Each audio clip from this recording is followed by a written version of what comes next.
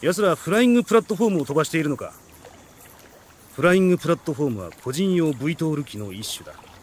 確かアメリカでも研究していたな。ああ50年代にな。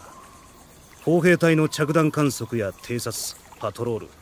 南地への兵員輸送なんかに使うつもりだったらしい。最初のプロトタイプも1955年に飛行している。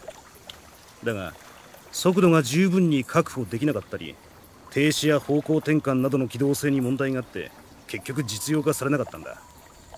そこで飛んでいるのはアメリカのフライングプラットフォーム開発計画を掴んだソ連が対抗して作ったものだろう。アメリカのものは二重反転ローターを回転させて飛ぶ仕組みだったんだがどうやらそっちのはジェットエンジンを導入しているようだな。アメリカが計画を破棄した後も研究を続けてついに追い越したってわけだ。まったく大した執念だよ。フライングプラットフォームに乗った敵に見つかれば危険フェーズになるぞ。フライングプラットフォーム自体は武装していないようだが操縦者がスコーピオンサブマシンガンとグレネードを持っている。反動の少ないスコーピオンなら片手でもフルオートで撃てるはずだ。その火力を侮るなよ。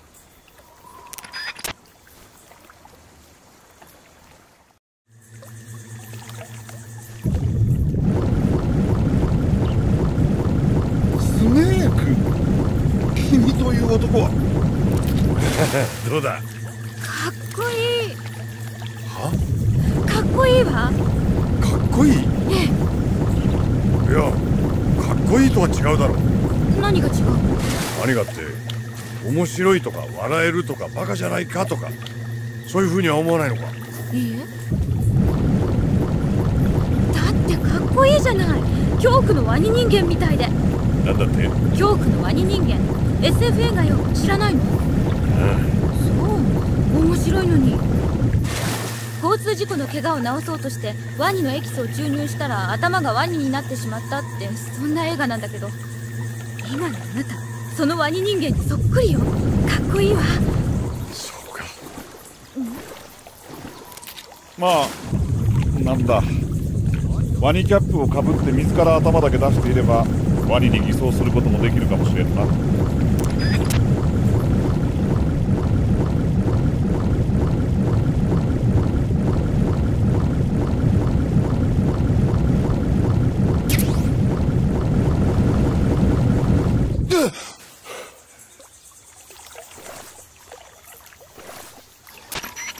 ワニの形をした帽子だって？ああ。どうだ？なかなかいいよ。動物への偽装は諜報の世界では古くから行われてきた。嘘か本当かは知らないが第二次大戦中に OSS が牛の着ぐるみを使ったとかいう話も聞いたことがある。何でも放牧されている牛の群れに潜り込んで通過する敵の軍隊を偵察したそうだ。ワニの被り物なんて今時笑いも取れやしないいわば単なる間抜けアイテムだ。だがそんなものでも使い方次第では有効なスパイ活動の武器になる。それを分かってるとは。やっぱりあんた大したもんだよ。どうかしたのか？いや。んん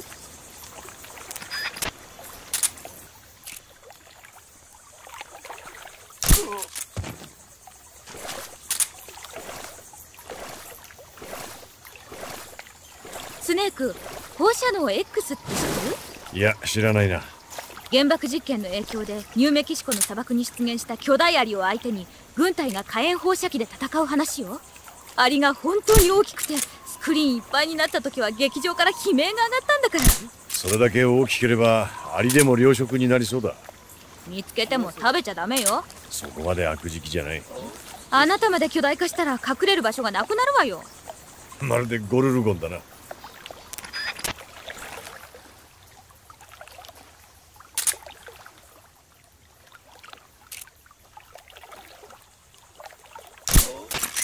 ギンガメアジをキャプチャーしたみたいね。ギンガメアジはアジの仲間よ。制御はサンゴ礁の周りで生活するけど小さい口は河口や河川の淡水域でも見られるわ。なるほど。で味は？それが資料に載ってないの。そうか。まあアジの一種なら食べられるだろう。だといいけど。何かあるのか？ええ。大きなギンガメアジを食べるとシガテラ中毒を起こすと聞いたことがあって。シガテラ中毒？ええサンゴ礁の近くで暮らす魚の中にはシガテラ毒と呼ばれる毒が蓄積されている場合があるのよ。食べると食中毒を起こすらしいわ。じゃあ銀亀味は食えないのか？そこの銀亀味がシガテラ毒魚かどうかはわからないけどでも一応注意して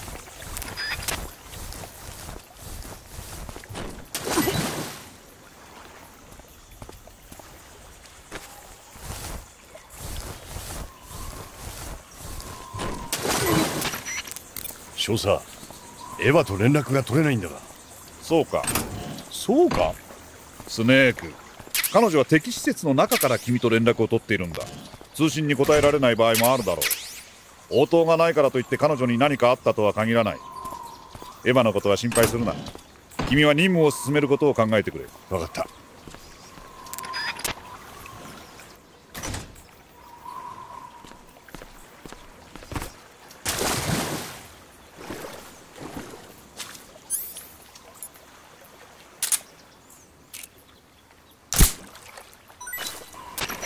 マルーンシャークをキャプチャーしたのね。マルーンシャークは主に東南アジアの方で見られる魚よ。シャークといってもサメじゃなくて鯉の仲間。レッドフィンドシガーシャーク。リバーバーブ。スルタンフィッシュなんて呼ばれることもあるわ。なるほど。で味は？資料によればそこそこ美味しいみたいよ。ただ油っぽくて小骨が多いとか。大丈夫だ。そんな小さなことは気にしない。でしょうね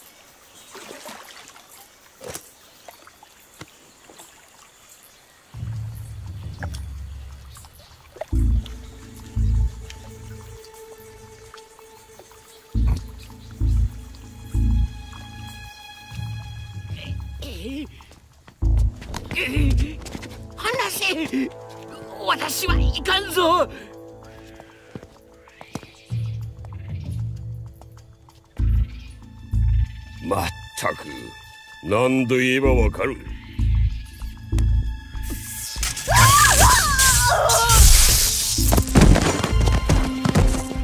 ターニャ。はい。お前が抵抗するたびにこの愛人が痛い目に遭うんだぞ。ボルギン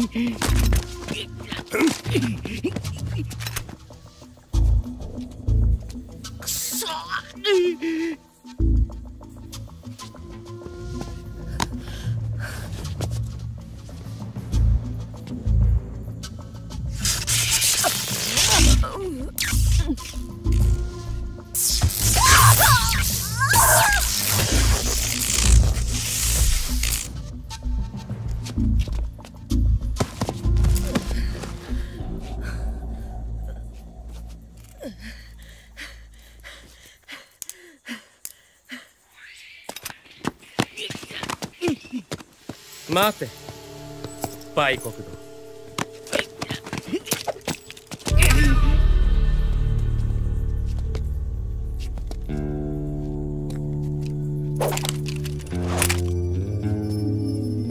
お前の運を試してやる。よく見ておけ。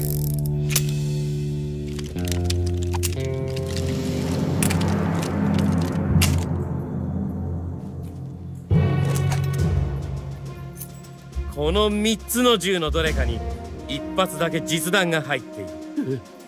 続けて6回トリガーを引く。いいか？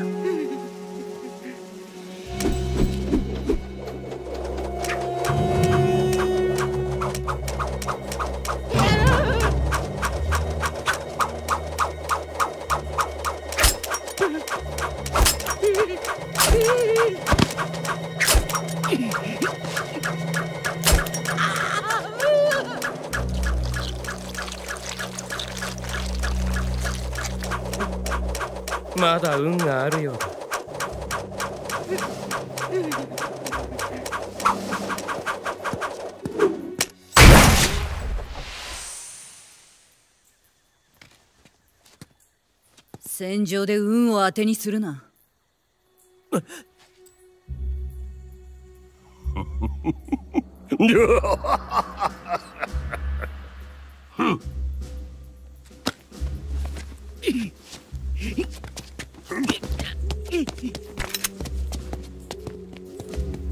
勝手な真似はするな。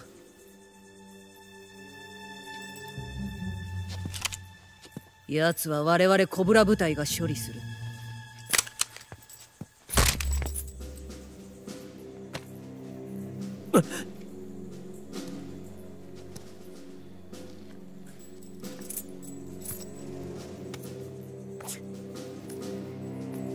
CIA の犬は片付いたのか？ザ・ペインがやられた。なんだそう？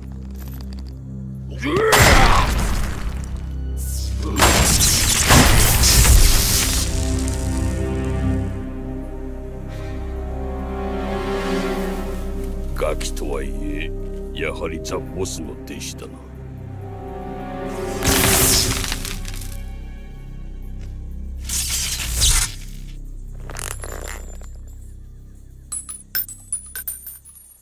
フルシチョフが裏で手を引いているかもしれん。早い方がいい。最終試験の前に消してくれ。大丈夫だ。彼らに任せる。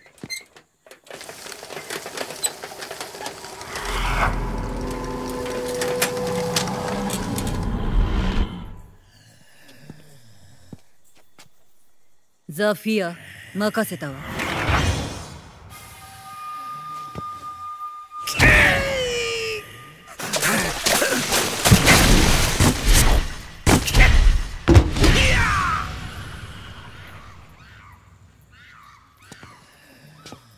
このじいさんずっと寝てるが大丈夫か？余命のエネルギーは戦場のみに使う。ジエンドは普段死んでいる時が来れば目覚める。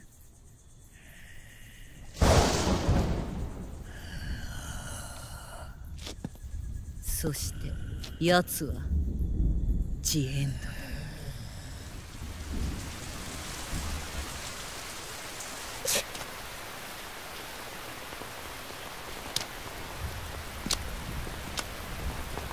来い。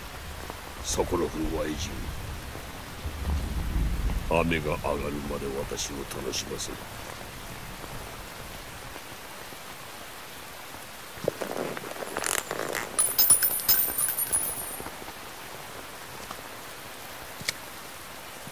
クワバラクワバラ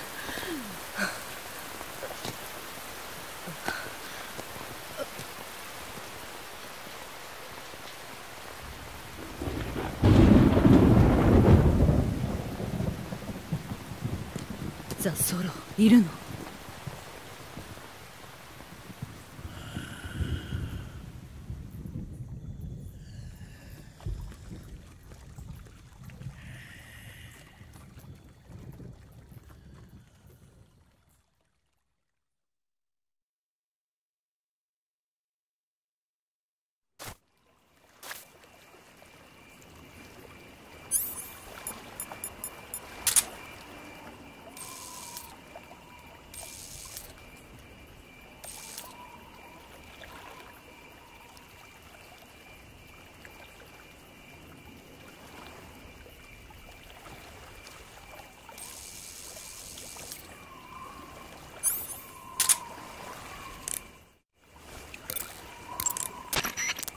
少佐ソコロフが連れ去られた。ああ。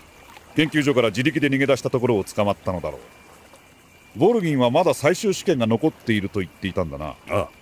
ならばソコロフはまた研究所へ連れ戻されたに違いない。研究所へ急いでくれ。ソコロフを助け出すんだ。そこにある倉庫を通り抜ければ研究所の南に出る。倉庫の内部へ潜入するんだ。敵の保証に気をつけろ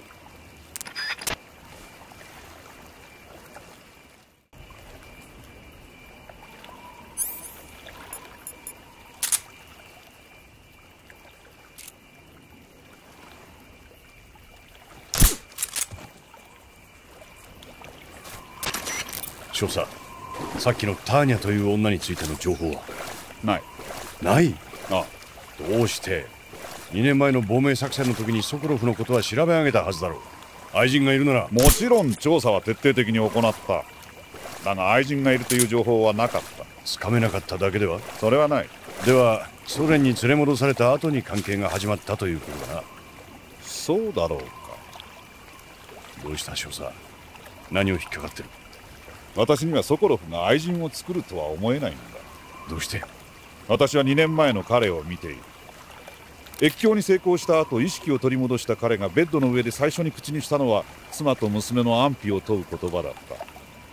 そしてソ連に連れ戻される直前まで彼は上事のように家族を頼むと繰り返していた。彼は家族を愛する男だ。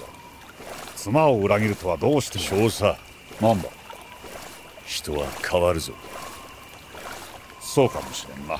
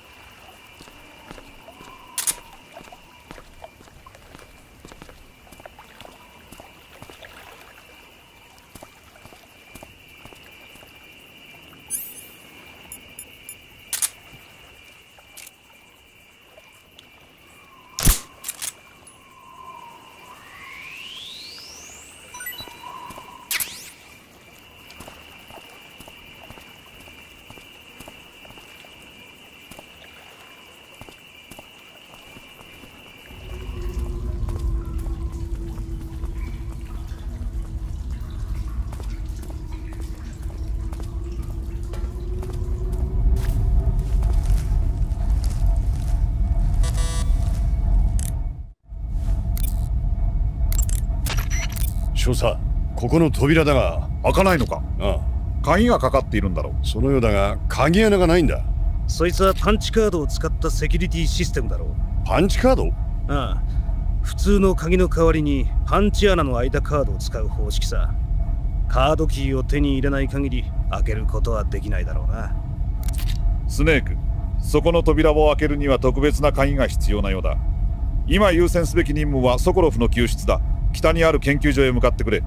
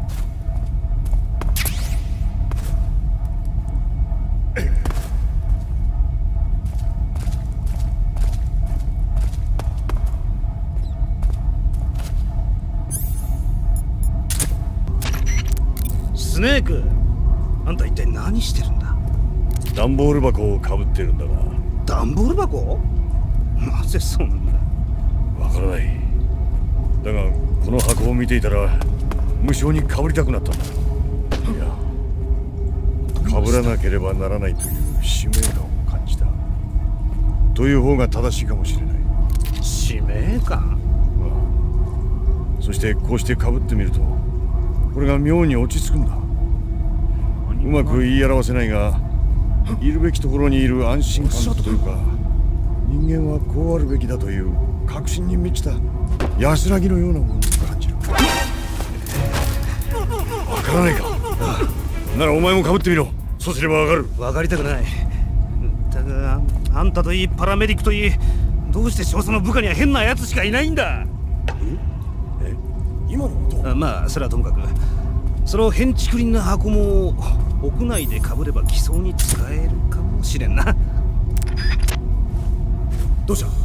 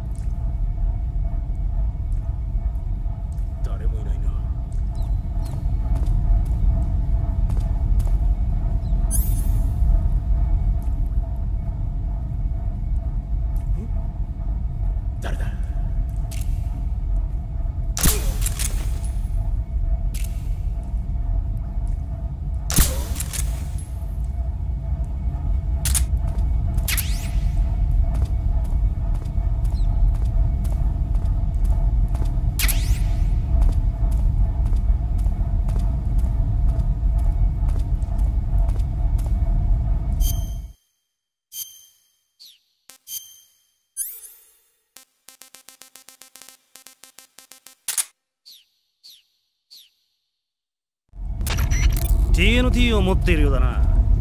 TNT はトリニトロトルエンつまり硝酸硫酸の混合物を三段消化した単黄色の結晶だ。軍用爆薬として世界中で使われている。感度が低く科学的にも安定していて扱いやすいし融点が低いから油栓や蒸気で簡単に成形できる。だが感度が低い分実際の起爆には電爆薬が必要だ。大丈夫だ。無線式の起爆装置とセットになってる。なるほど。それなら武器ボタンで TNT を設置してから CQC ボタンを押せば起爆できるだろう。サバイバルビュアーのマップを見れば仕掛けた TNT の位置も表示されるはずだ。ただし起爆装置の電波はかなり弱いみたいだな。CQC ボタンで起爆できるのは同じエリアに設置した TNT だけだってことは忘れないでくれ。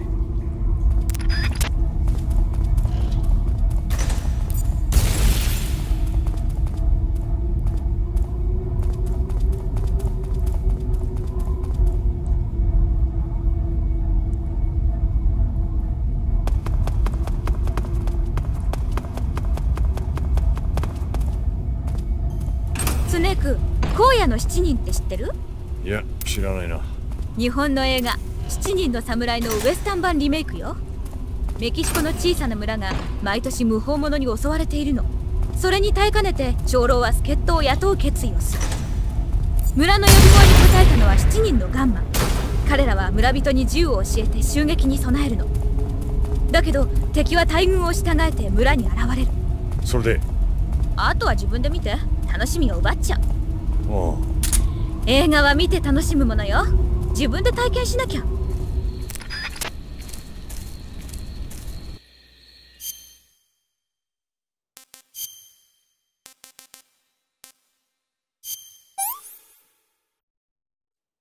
こんなもんか。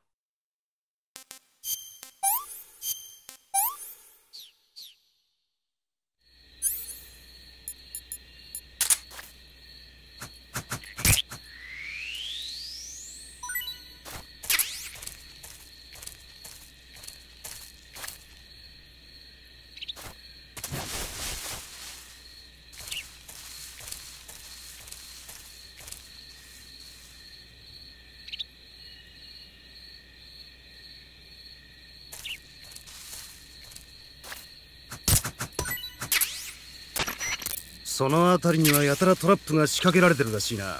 しかも妙に穴黒な。ああだがここは奴らの領内だろう。どうしてこれほど多くのトラップが仕掛けてあるんだ？戦術研究の一環かもしれないな。戦術研究？ああ。知っての通りソ連は世界各地の共産勢力の革命戦を指導している。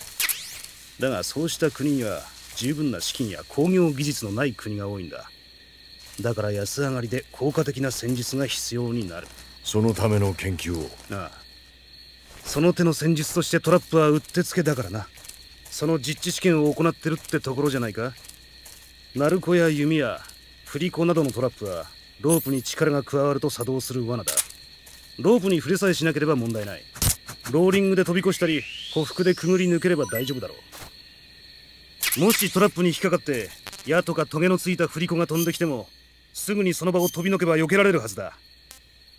落とし穴やスネアは見破られないよう地面をカムフラージュしてあるようだな。だが注意深く見れば偽装は見抜けるだろう。ストーキングで進むのもいいかもしれない。とにかく罠が仕掛けられていそうな場所では地面をよく見ながら慎重に進むようにしてくれ。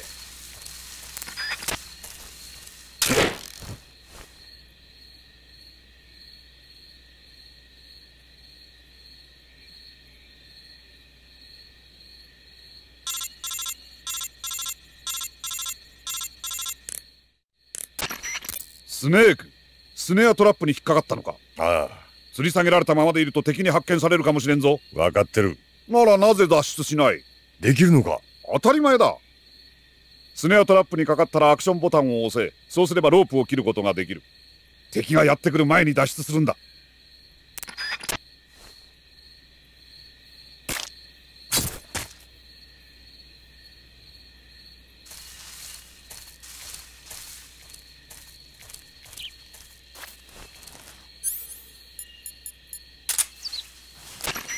カロリーメイトを持っているのね。カロリーメイト？持ってるじゃない。ああこのクッキーみたいなブロックか。食べてみて。美味しいから。分かった。だから何なんだこりゃ。こんな食べ物は見たことがない。カロリーメイトはタンパク質脂質ビタミン炭水化物ミネラルの5大栄養素をバランスよく含んだエネルギー食品よ。いわばバランス栄養食ねそれこそ戦闘の合間にでも体に必要な栄養を効率よく摂取できるのよ。まさに宇宙時代の食事だな。本物の宇宙食はかなり美味しくないらしいけど。それなら大丈夫でしょ？ああ食事が偏りがちなジャングルでこいつはありがたい。食べやすくて時間も取らないから。任務に遅刻しそうな時の朝食にもいいと思うわ。任務に遅刻したことなんてないぞ。そう？待たせることは多いんじゃない？え？それにカロリーメイトはカロリー計算もしやすいし栄養も十分だからダイエットフードにも向いているの。日本の芸者ガールたちはみんなカロリーメイトを使ってカロリーコントロールをしてるらしいわ。彼女たちがスレンダーなのはこれを食べてるからか。ええ。食べないダイエットは体に毒だしね。なるほど。それにしても君は日本のことに詳しいな。ええ。私日本好きだから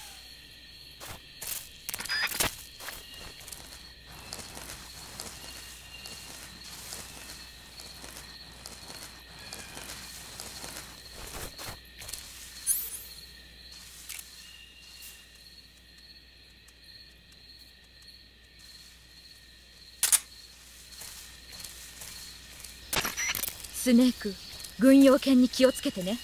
犬の手強さは知っているつもりだ。違うわ。あなたが手強いのよ。俺が？訓練を積んでいるとはいえ罪のない動物なんだから。むやみに傷つけちゃダメよ。しかし。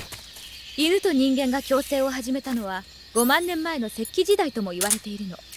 番犬やペットとして飼われているのはもちろんだけど警察犬や軍用犬だけじゃなくて狩猟牧畜救助盲導さまざまな分野で人間を助けている。彼らには敬意を払うべきなの。分かってる。俺も犬ぞりは好きだ。将来的には彼らの役割の一部は機械に変わっていくでしょうね。小型無人偵察機やセキュリティシステム。それに21世紀にはペット用の犬型ロボットが売られるわよ。まさか。そうなっても彼らが人間にとって大事なパートナーであることには変わりないわ無人偵察機なんてものができたら厄介だな。当分は訓練された犬の方が優秀でしょうけど。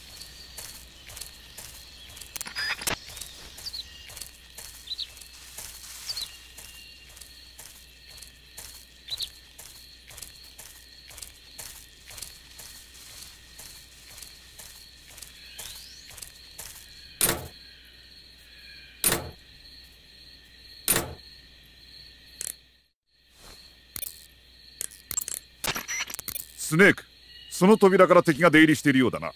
侵入できるか？いや扉が開かない。その扉は中から鍵をかけているようだな。外から開けることはできないだろう。だがその扉から侵入する方法は必ずあるはずだ。どんな方法だ？それは扉の前でお祭りを開くっていうのはどう？お祭り？日本では開かない扉を見つけたらそうするらしいけど。本当か。もちろん相変わらず日本のことには詳しいな。ああだがここはソ連だ。そんな方法で扉が開くとは思えないが。じゃあ自分で考えなさいよ。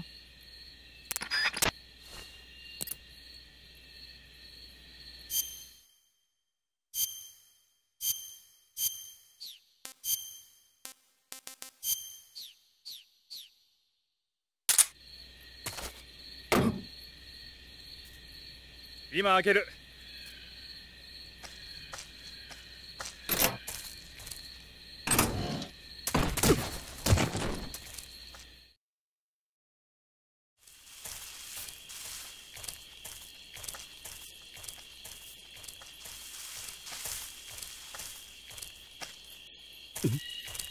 逃げる気か？おい止まれ！逃げられはせんぞ。仕事に戻れ！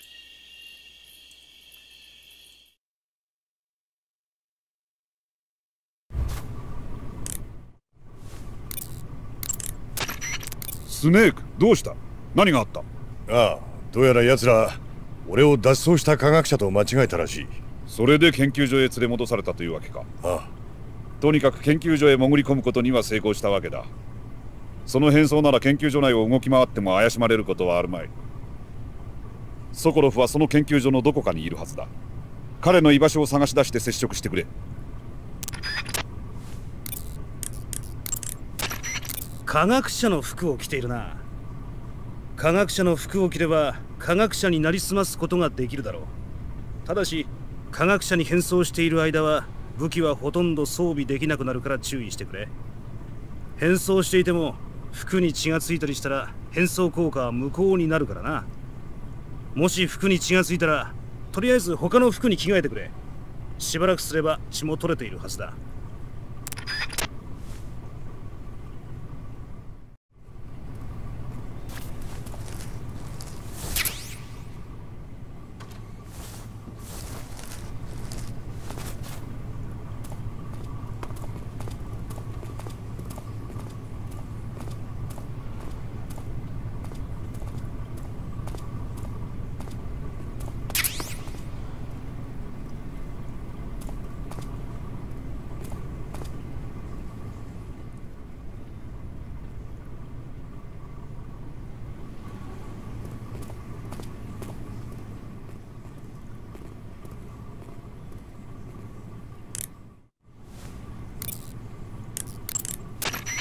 あケロタンね。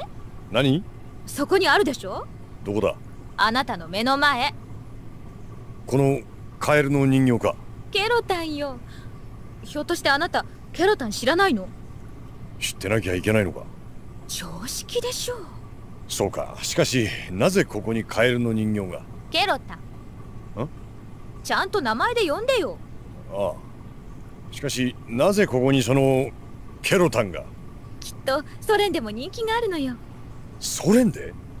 まああなたにケロタンの魅力はわからないかもね。でもケロタンの力を借りれば作戦を有利に進められるかもしれないわよ。どういうことだ？ケロタンは揺らすと泣き出してしまうの。敵がそれを聞いたら寄ってくるかもしれないでしょ？陽動に使えるんじゃないかしら。あと全てのケロタンを見つけて揺らしたらいいことがあるって噂もあるわ試してみて。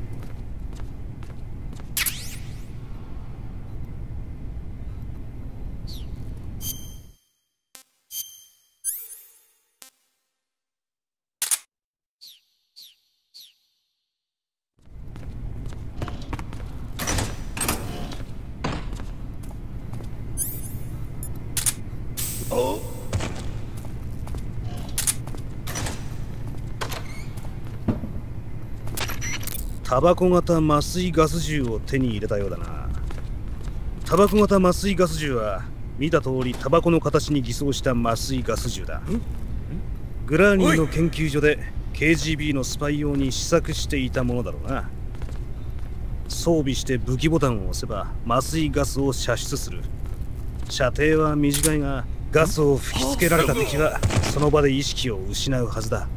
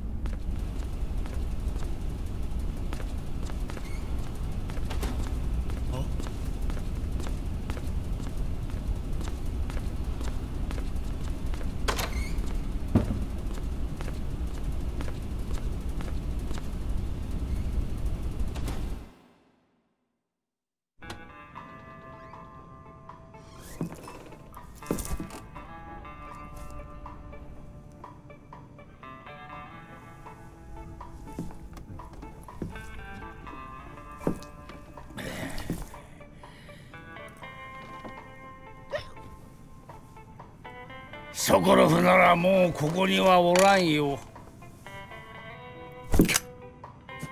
ぶつからものを出すな。酒がまずくなるだろうが。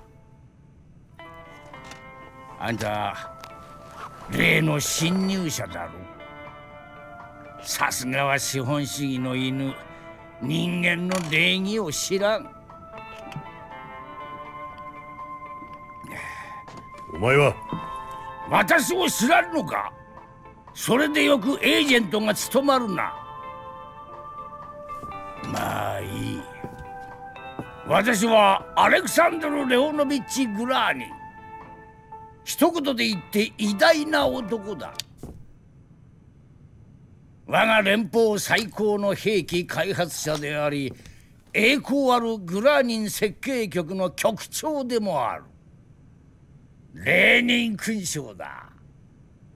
最も優秀な労働者へ社会主義労働英雄の称号とともに贈られる最高の栄誉。私の輝かしい実績に対して授与されたものだ。偉大な共産主義社会建設のため私は大戦中からさまざまな兵器を作り出してきた。下劣なナチどもを追い散らすことができたのも私のおかげと言っていい今お前らが SS1C と呼んで恐れおののいている道路移動型弾道ミサイルシステムの基礎を作ったのも私なのだぞ。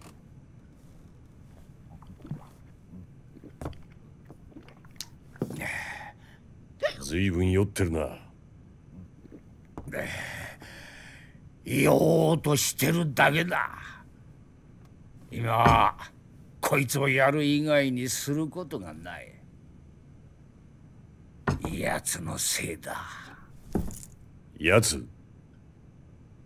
ソコロフだよあんたの目当ても奴なんだろう。奴のせいで私は全権を奪われた。私の研究もお払い箱だ見ろ画期的な移動核ミサイルシステム二足歩行戦車。二足歩行戦車？歩く戦車。ロボットだよ。猿から人への進化におけるミッシングリンクの話を知ってるか？この技術は歩兵と兵器をつなぐ歯車になるまさに金属の歯車。兵器は革新的な進化を遂げる偉大な金属の歯車なのだ。メタルギア。だが私はただでは引かんぞ。泣き寝入りはごめんだ。私はこの資料をアメリカの友人に送ってやるのだ。何だと？ここの連中は後悔する。そして自らが標的となった時身をもって私の偉大さを思い知ることになるのだ。そう。私の研究はソコロフの下品なシャゴホッドとは志が違う。戦車にロケットエンジンなどつけてどうする。それでソコロフは？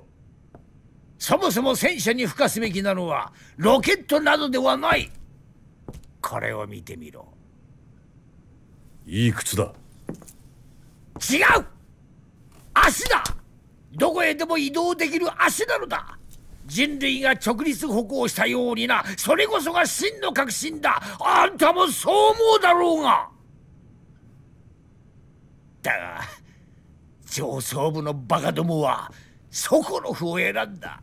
そのソコロフはどこに？私のプロジェクトは廃止。賢者の遺産もソコロフに回された何の話だ？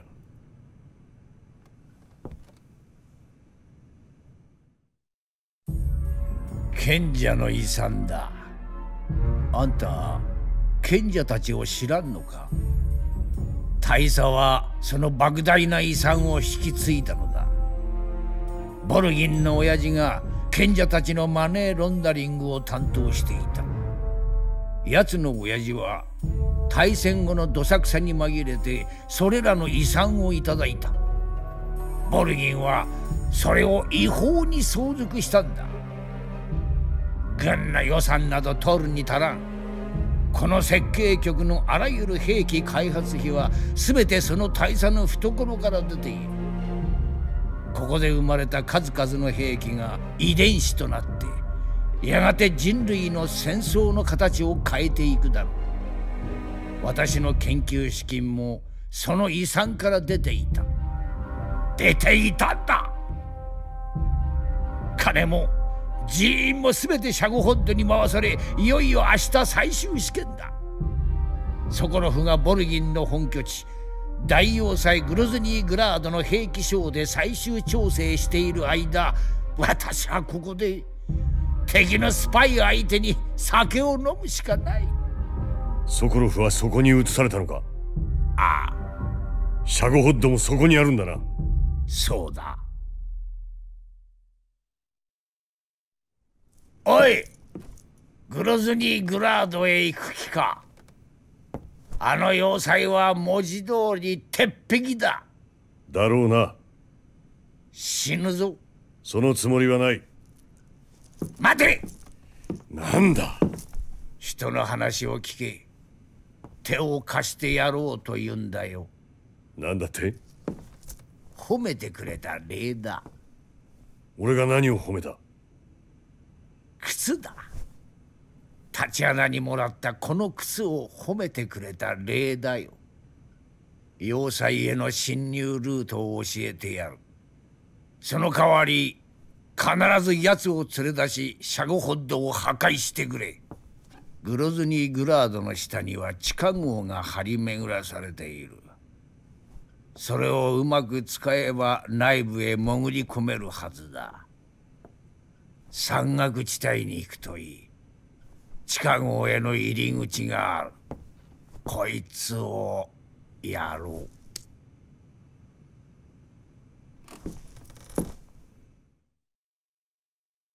あんた。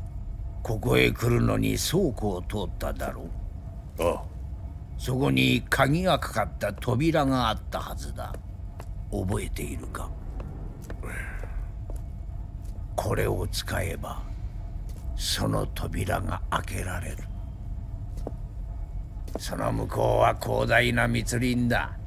その一番奥から山岳地帯へ登ることができる一度倉庫まで戻れ。それから鍵のかかった扉を開けて先へ進むんだ。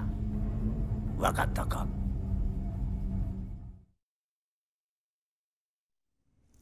なぜ俺に協力を？私はソコロフのように亡命を考えたことなど一度もない。私はこの国が好きだ。この土地を愛しておる。他で暮らすことなど考えられん。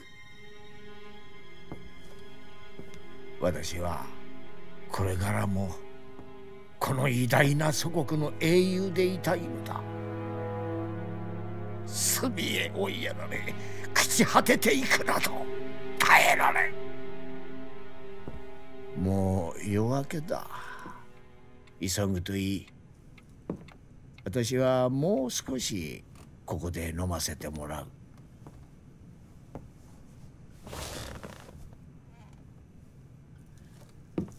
資本主義に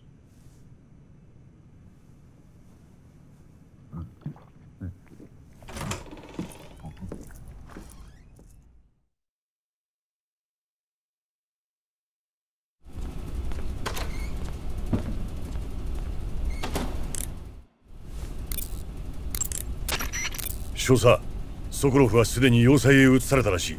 だがそれはグラーリンがそう言っていたということだろう。彼が欺瞞情報を流したという可能性も。いや嘘ではない。そう言い切る根拠は俺の勘だ。信じよう。グラーリンによれば倉庫の先の密林を進めばその奥から山岳地帯に出られるということだったな。ああ山岳に登れば山頂近くからグロズニーグラードの地下壕へ入れるらしい。まずは倉庫まで戻れグラーニンから渡された鍵で扉を開け密林へ出るんだ。扉の位置は分かっているな。水路から来た時に通った扉のすぐ北だ。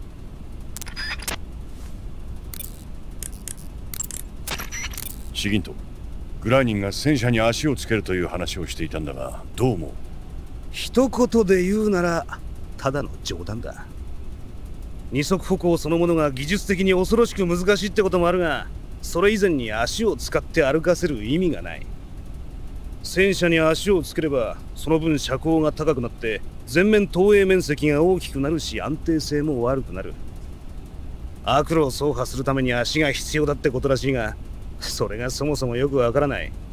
無限軌道で十分だろう。そんなもん真面目に作ろうと考えるなんて頭がおかしいとしか思えんよ。そういえばアメリカにもそんな論文を書いていたやつがいたな。エマーソンだがハインリヒだがよく覚えてないがそんな名前だった。もちろん誰もまともに取り合わなかったけどな。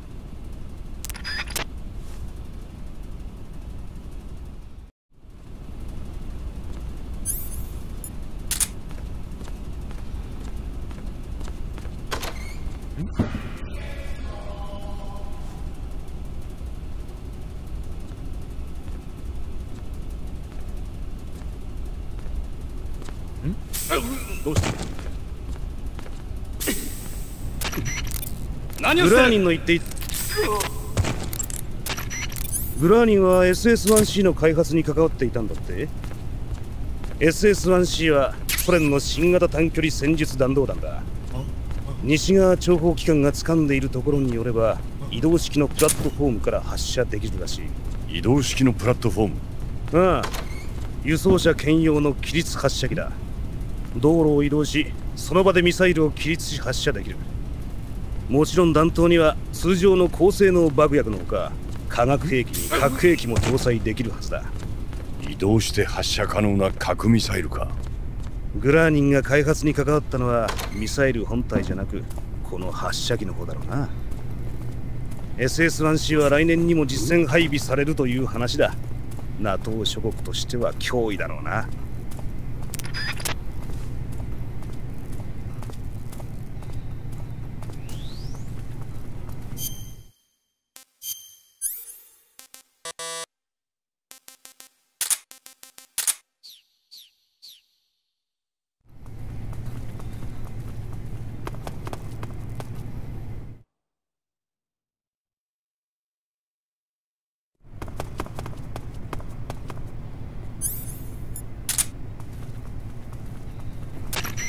麻酔薬を染み込ませたハンカチか確かにそれを手に持っていれば CQC で捕まえるだけで敵を眠らせることができるだろうな。武器ボタンを押してハンカチを振れば麻酔薬を振りまくこともできるはずだ。ただ使うたびに麻酔薬が抜けていくだろうから効果を保つにはまた麻酔薬に浸してやる必要があるぞ。麻酔薬に似たようなものならどこかで手に入るだろ今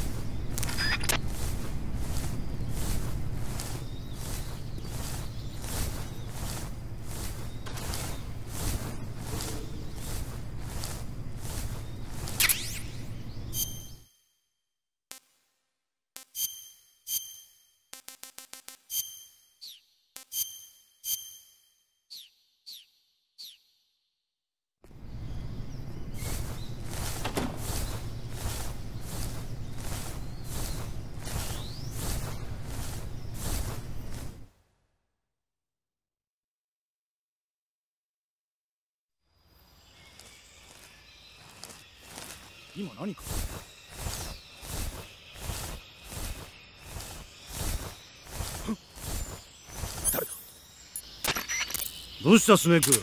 裸じゃないか。確かにユニフォームでネイキッドを選べば戦闘服の上を脱ぐことができる。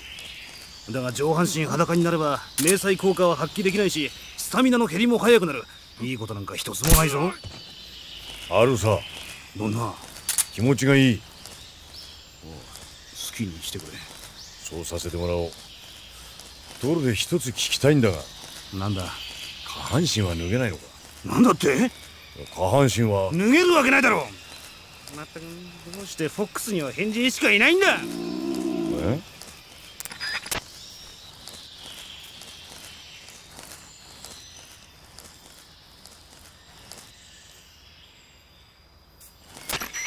スネークそのフェイスペイントは？小山だ。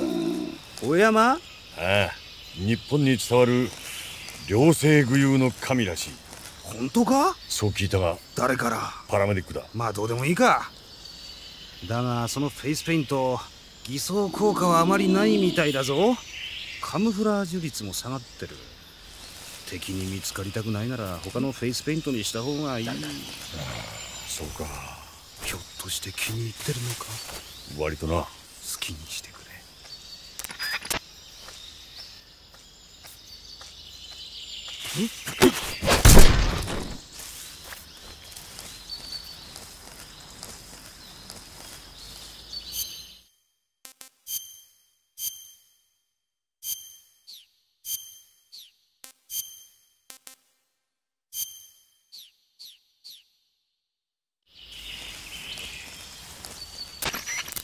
シギント。グラーニンが言うにはソコロフの研究は戦車にロケットを搭載するものらしいんだがああ。どういうものかわかるか？悪いが見当もつかない。そうか。戦車の機動性を強化したものかそれとも短距離ミサイルの発射機能を備えた戦車なのか。だがそれがシャゴホットのフェーズ2と関係があるっていうのは確かなんだろああ。フルシチョフがキューバと引き換えにしてでも完成させようとしボルギンが同志の設計局を襲撃してまで手に入れたものだ。きっと何かとんでもないものに違いない。今何か？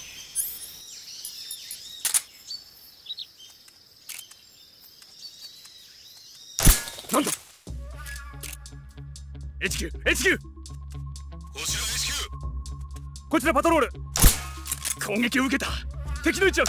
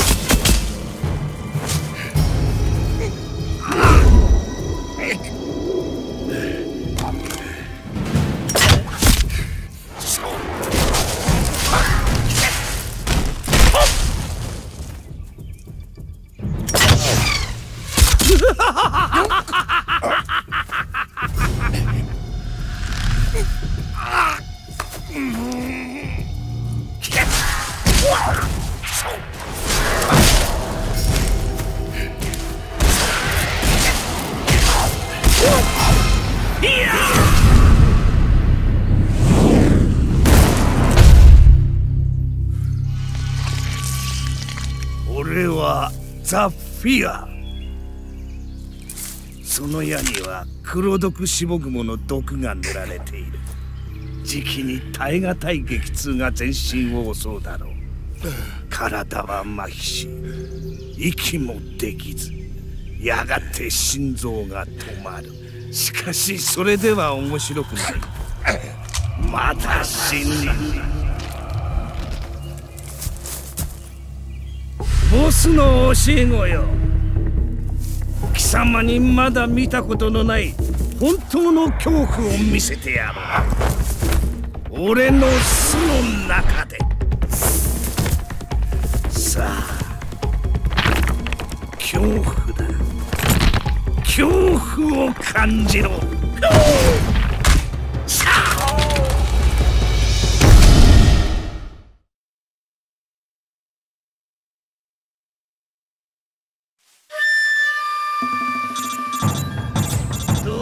消さねば死ぬぞ毒矢を受けたのね。矢に塗られた毒が回っているわよ。そのままにしておいたらライフがどんどん減っていくわ。早く治療して。サバイバルビュアーのキュアで血清を打つのよ。血清を使えば毒は治せるけど矢傷を治療するのも忘れないでよ。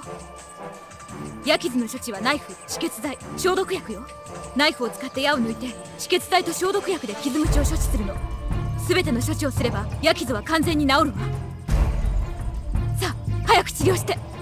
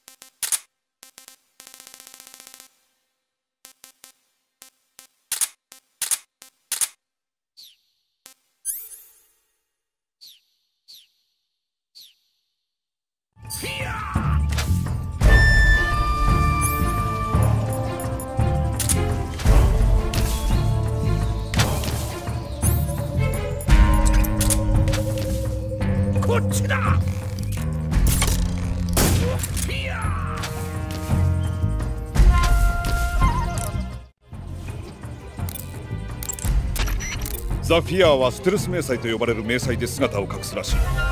だが完全に存在を消せるわけではない。主観でよく見れば必ず見つけられるはずだ。物音や草の揺れ木から落ちる葉に注意しろ。奴を見つけて主観攻撃で撃つんだ。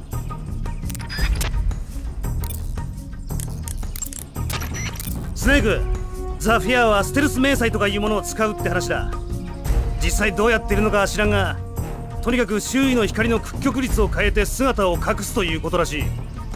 まさに最強の迷彩だ。奴の姿を見つけるのは簡単じゃないぞ。だが弱点がないわけじゃない。ステルス迷彩はスタミナを著しく消耗するって話だ。奴のスタミナがなくなれば迷彩の効果もなくなる。そこを逃すな。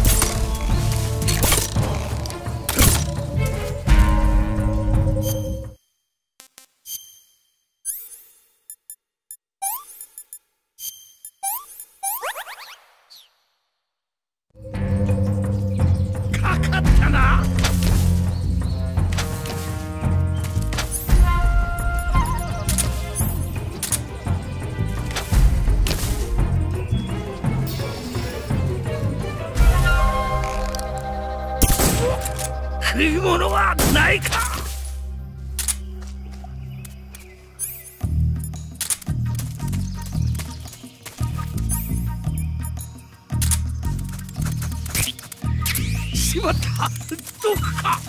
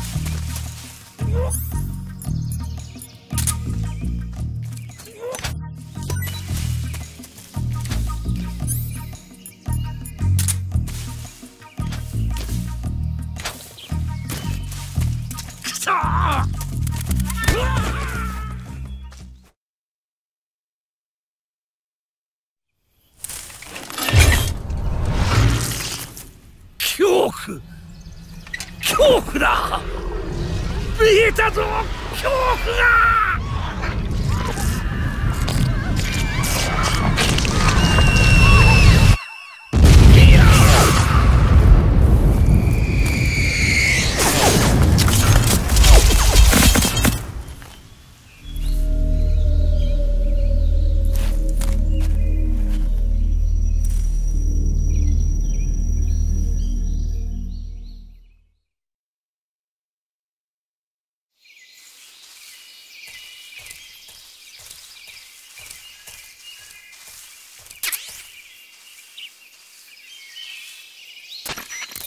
少佐奴らが爆発するのは？伝説の一部だ。伝説？コブラ部隊のなそこはシギントから説明してもらおうか。シギント？ああそいつは小型爆弾だ。小型爆弾？そうだ。第二次大戦中コブラ部隊は決して公にすることのできない汚れた任務をこなしてきた。捕虜になることはもちろん死体を残すことすら許されない絶対の極秘任務だそのために彼らは自決用の小型爆弾を持って任務に赴いたと言われている。尾ひれがつきまくったただの噂だと思っていたんだがまさか本当だったとはな。しかしなぜ今回も爆弾を持ってきてるんだろう。敵地でもないのに。覚悟かもしれんな。覚悟？ああ。彼らには戻る部隊はない。戻る国もない死に場所は戦場しかないというわけか。そうだ。後戻りができない。ザ・ボスもそうなのか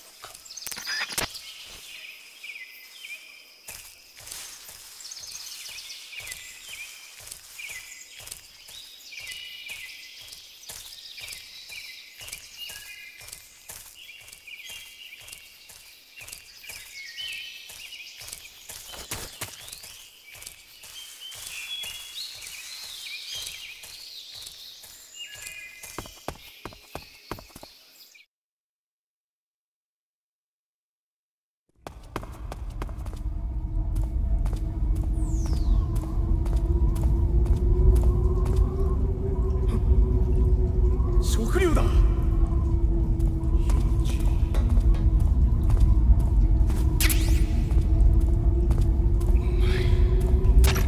スネークもしあなたに何かあっても血だけはちゃんと残してね。俺の子供が欲しいということか。違うわよ。きっと21世紀にはあなたのような兵士の遺伝子は貴重になるから。遺伝子？そう。1953年にワトソンとクリックが DNA の二重らせん構造を発見したのは知ってる？いや。一昨年にノーベル医学生理学賞を取ったでしょ？もっとも同じ研究で競っていたポーリングやフランクリンも惜しかったんだけど。悪いがさっぱりだ。あらゆる生物は体の中に設計図となる遺伝子を持っているの。この設計図は卵子精子を介して形を変えながら次世代の子供に引き継がれていく。親子が似ているのはこのためよ。この概念は100年も前からメンデルによって定義されていたんだけど正体は分かっていなかった。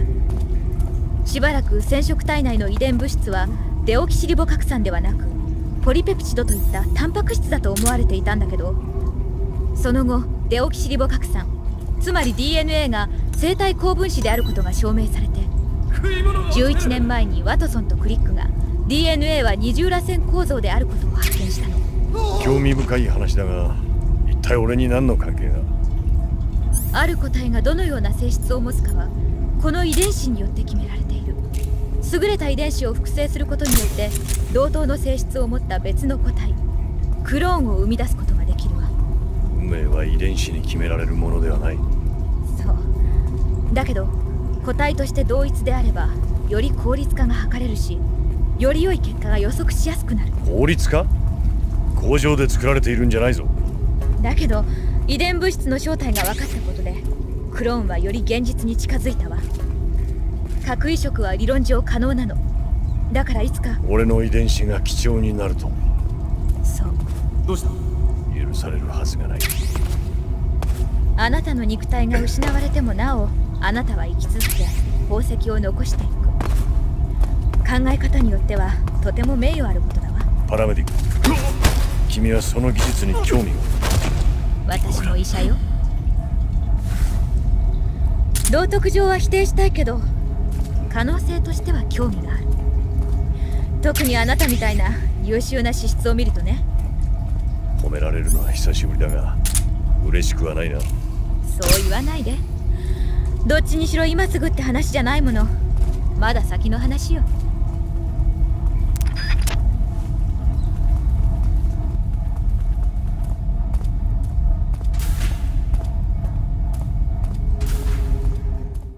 スネーク博士の異常な愛情または私はいかにして心配するのをやめて水爆を愛するようになったかって知ってる？え？博士の異常な愛情よ。知らない？いや知らないな。正気を失ったアメリカ空軍の司令官が水爆を積んだ爆撃機をソ連に向けて出撃させてしまうブラックコメディよ。あまり笑えそうにない。ストレンジラブ博士を演じる俳優が主要な役を3役も務めているの。怖いのを通り越して笑ってしまうわ今年の映画だからまだ見れると思うけど。その映画を笑える心境になったら試してみよう。